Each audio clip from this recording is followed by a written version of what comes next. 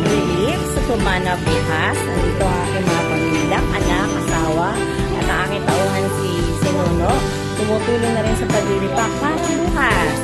Thank you nga pala kay Destiny at kay ang kanyang anak, sa pagbibigay ng, ng pera para pambili ng ganitong relief. Salamat sa kanya dahil may puso siyang napakalaki sa bagamat may problema siya o ano siya sa pera, pero nagawa niya pa rin tumulong dito sa guys, meron mga tao pa rin ganun na tumutulong sa atin, ano? Na kahit wala pa siya, uh, nagagawa niya pa rin tumulong. Yung kasi ang sinasabing ano eh, pagmamahal sa kapwa. Tara guys, tulungan niyo kami mag-repack.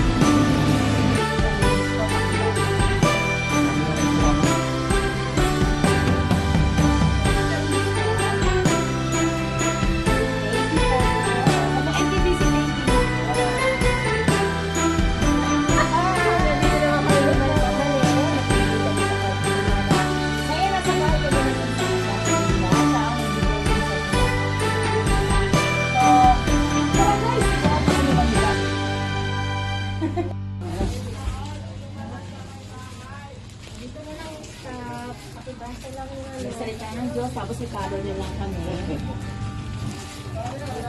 Salamat po. Salamat po. Thank you.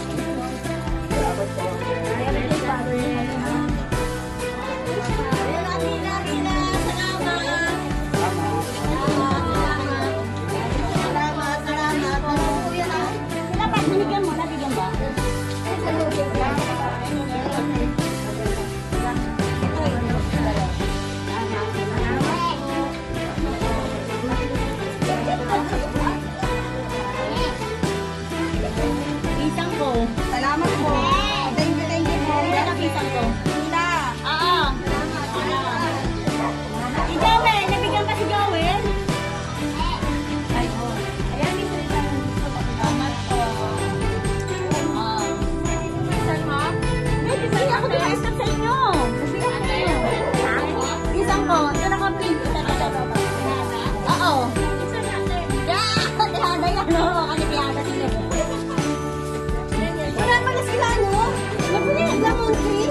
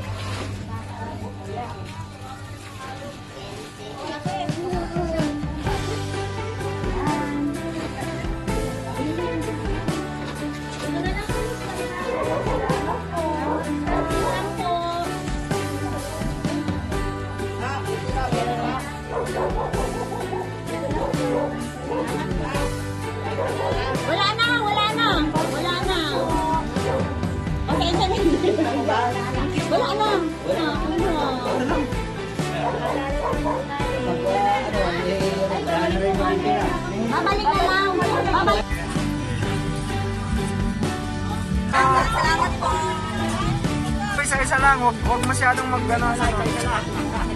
Huwag kayo magsabay-sabay sa loob. Sige po. Ingat kayo.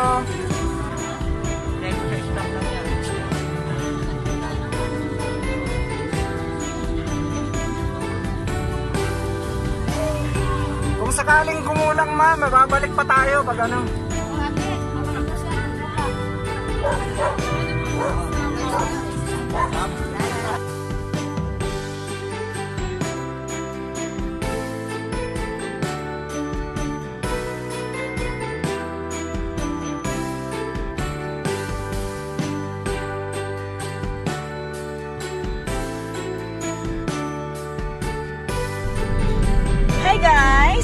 Gusto naman po kayo mamigay ng relief sa Okra Street, Tumana. At salamat sa aking katulong na si Ma'am Nanette. Ko ng maayos ang relief goods sa aking mga kababayan dito. At ganun din, syempre, hindi namin magagawang ganitong gawain, kundi dahil kay Destiny at kay Ate Beth, kay Kuya uh, Fred sa kanyang pag-unawa at pagmamahal sa mga kapwa ko Pilipino na naghihirap dito sa Pilipinas. Sana guys, meron pang mga Pilipino may may malaking puso na may pagmamahal sa atin na handang tumulong din sa panahon ng ganito na mayroong pandemya. Bye!